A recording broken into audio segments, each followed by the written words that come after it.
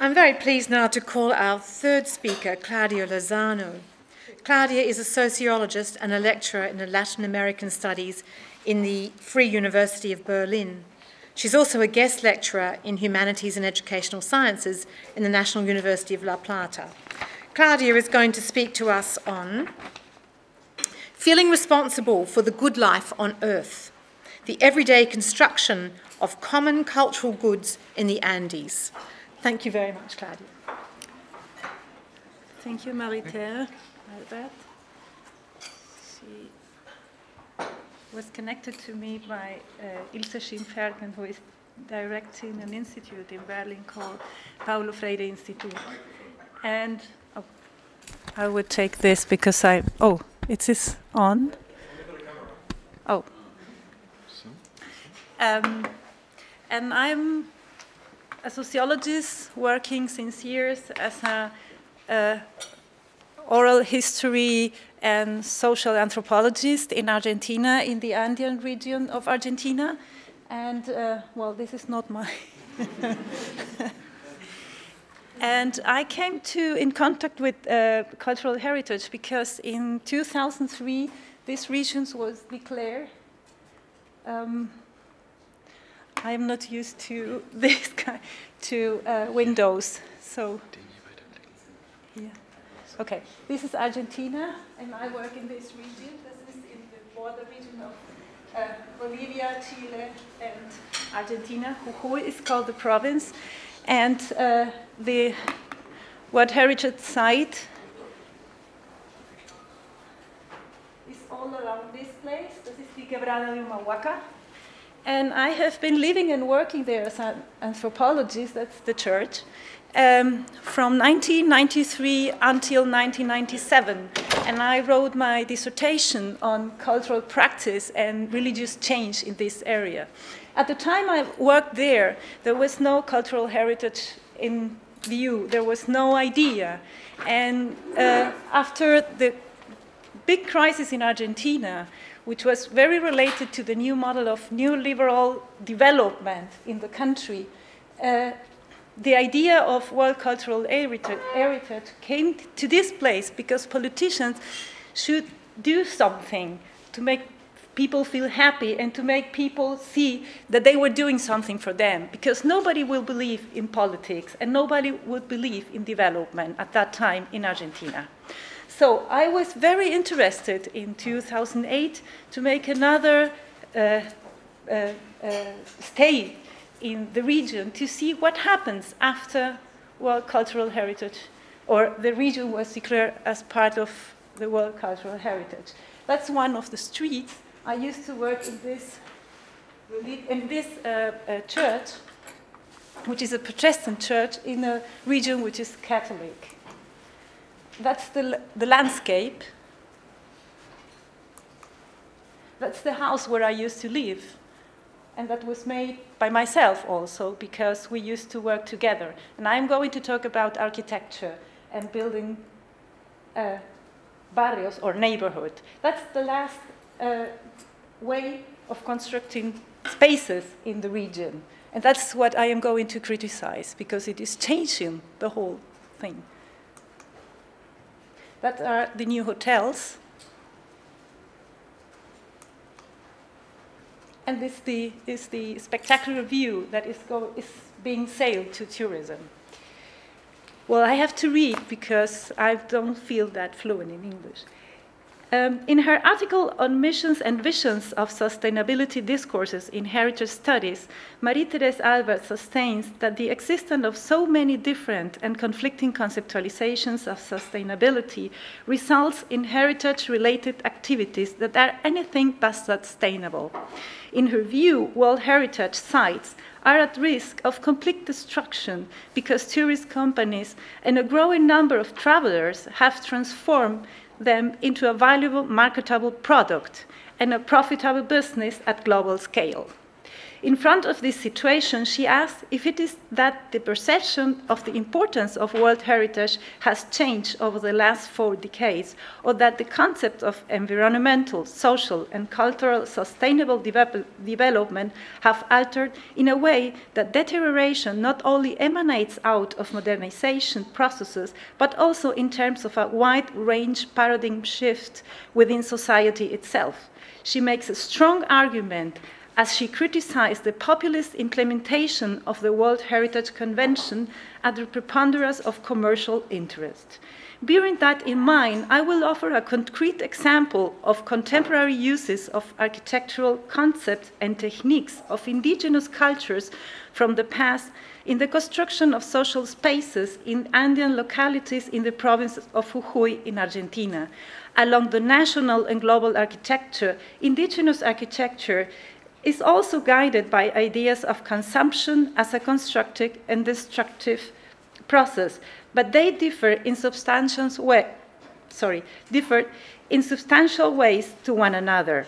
From the cognitive technical perspective, their differences can be conceptualized in terms of scale, its organization in relation to topographic shapes of the ground and its materials. But as important as this are there is an emotional and ethical dimension that seems that stems from the anxieties and fears awakened by imbalances, environmental damages caused by unregulated extractions that could threaten the continuity of fruitful exchanges between human beings and nature. Specifically, the inscription of the Quebrada de Humahuaca in Argentina as part of the World Cultural Heritage is based, among other aspects, on a strong regulative framework, including the national constitution, national and provincial laws, decrees, and resolutions that protect both cultural and natural heritage and promote the use of local knowledge and techniques.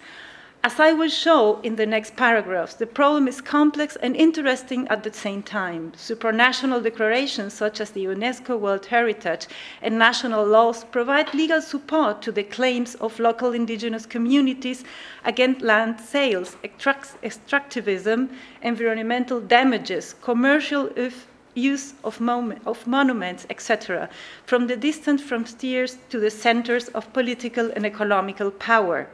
Nevertheless, they promote demands of recognitions of indigenous and new cross-border groups, as well as a political a politic of distribution and inclusion to the global capitalistic market. And that's the big problem, this contradiction between taking care of the cultural heritage on the one hand and on old and ancient techniques and traditional knowledge, and on the other hand, the openness to the global markets.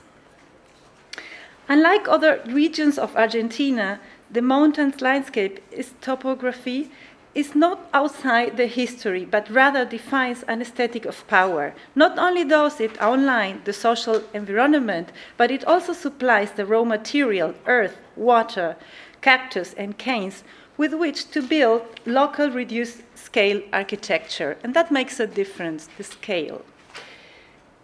This distinguishing feature of local architecture is precisely the fortuitous way in which it is projected into the landscape, closely, closely following the contours of the land, creating imposing spaces and plains. In a landscape which it does not dominate, the population of the high plateau uses materials to create an architecture that is keeping with the environment. As suggested by the architect Nicolini, the inhabitants of the Quebrada and the Puna build as through they are creating one more feature of the landscape, not a monument. In this respect, in the 1980s, and especially since the Quebrada de Humahuaca was declared a cultural landscape and World Heritage Site in 2003, a form of literature has sprung up that links landscape, environment, land, and public works to disputes about the local economic development model and the power of the state to regulate the social space through laws and funding. In these works, the environment and its appreciations in terms of a cultural landscape constitute a powerful cultural mechanism by which to claim support in order to sustain traditional activities, agriculture, livestock farming, textiles, pottery, medicine, architecture on a small scale. They also lend weight to public criticism of a road infrastructure modernization projects, projects aimed at increasing tourism and adding mineral extraction through the establish establishment of large-scale mining projects. These later activities and the migration from the countryside to mining and urban centers, both inside and outside the province, have formed part of the social and economic history of the Andean High Plateau in Argentina, Bolivia, Chile, Peru since the 16th century. I am interested particularly in the weight carried currently by the notions of cultural landscape and the ability that different local groups and national and cross-border bodies believe it to have to attract and transform values and conditions imposed by the states and by the market. The quebrada is considered exceptional as a corridor, facilitating mobility of persons, ideas, and output between different ecological or environmental tiers and playing lost to small-scale architecture ensembles or landscapes from different periods of human history, especially as they become vulnerable to the impact of irreversible change. The conventions view large scale projects from the modernization of public or private infrastructure, rapid urban and tourist development, changes in use of land and forms of ownership of land, lending to accelerate deterioration of the local landscape, landscape as a threat. I shall start with two examples, I just will concentrate in one, of the limitations of state legislations. First, I shall focus on land distribution programs and those that promote self-builds on the outskirts of the town of Humahuaca. I will go and show you how it works. In 1993, in addition to the discussion over the history and the culture of the village, is something very important. The local elite were debating what to do with the migrants that arrive in town having been displaced from mining towns and rural areas. In the meantime, the residents of the district of Santa Barbara, where I was living, were building houses and a district community center.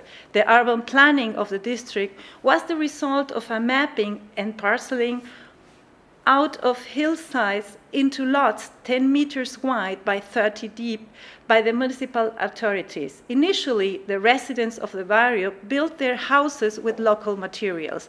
They will collect mud, stones, canes from the hillsides and from the river bed, which they used to make mud bricks to build single-story houses with straw and mud roofs.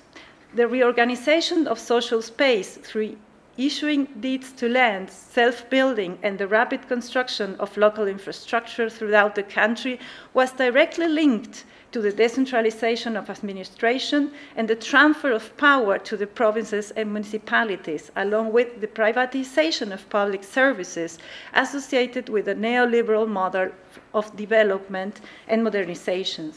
The speed with which changes were implemented unleashes fierce competition for control of the funds and supplies made available for the construction of the barrio.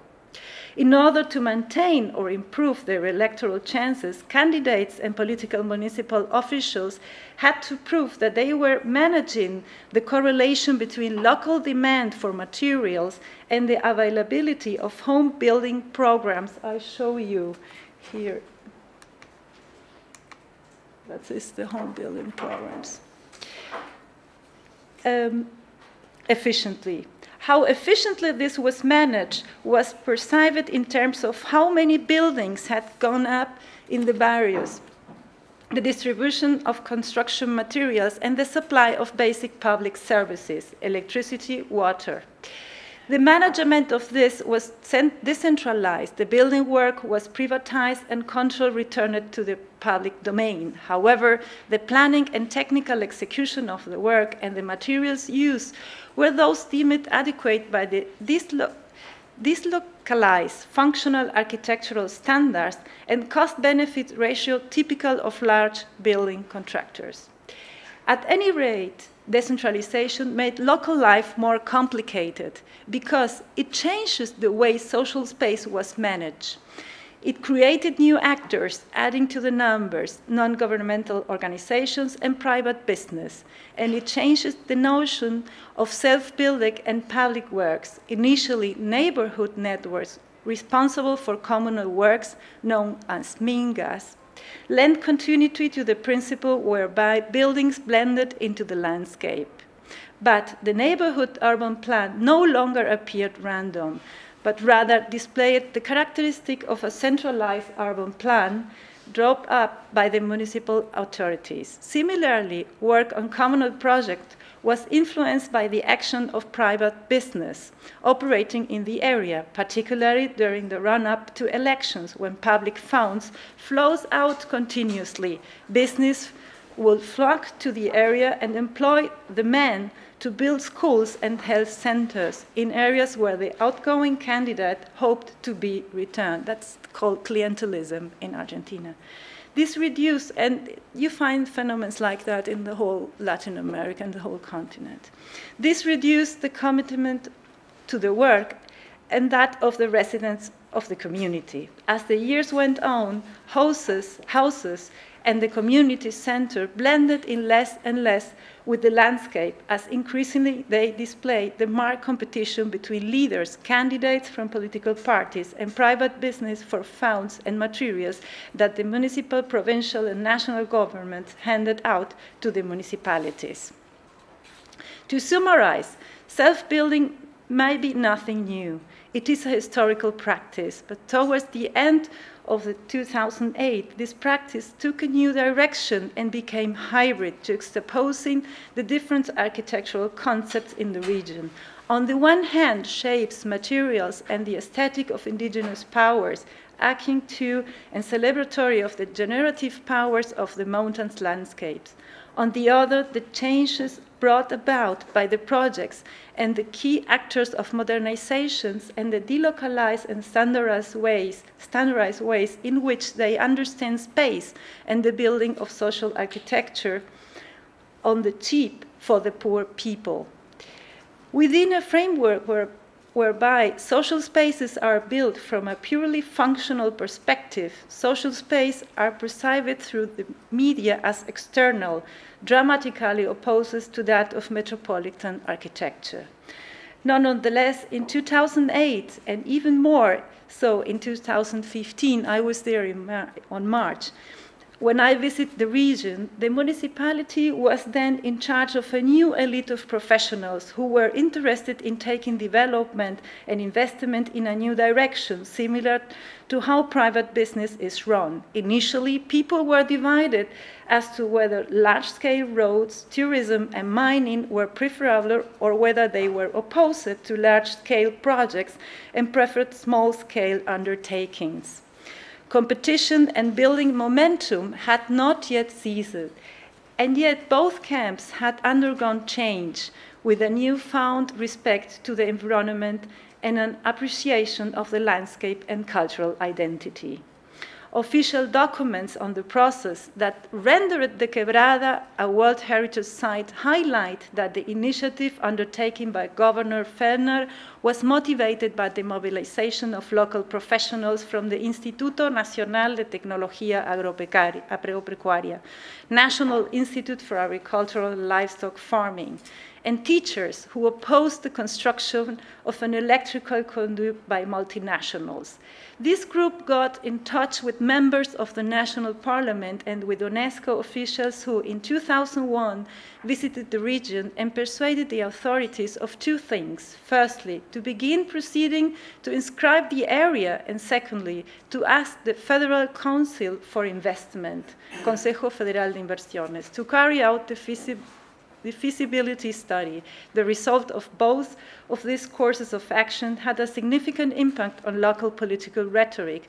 And in 2001, within the general context of awakening of all the political parties, they began to listen to the demands of local environmentalist and protectionist movements and voices.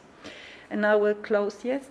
These environmentalist and protectionist movements did not phrase their demands in terms of cultural differences or contemporary aspects of indigenous cultures in the region. Rather, they criticize the local model of investment and infrastructure that favored the interests of external investors, big multinationals who hope to sell electricity to Bolivia. Studies highlight the fragmented nature, and that's a big problem, of indigenous organizations, and that these were not included in talks others with the movements or with officials until quite late in the process. UNESCO recommendations made three key points develop a strategic management plan, carry out studies to monitor water levels in the river system, and encourage participation with a view to formulating a new application that will include the Camino del Inca in the World Heritage List.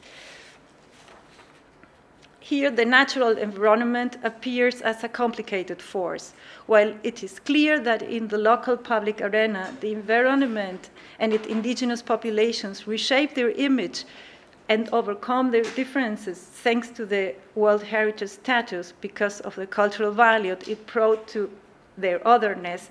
Neither the studies I have quoted nor neighbors expected the inscription to have enough strength to force politicians to meet local needs and demands. Quite the opposite. All were convinced that the conciliatory language of the politician had more to do with internal provincial and national political alliances than the, than the demands of, and the demands of international organizations and pressures from external investors.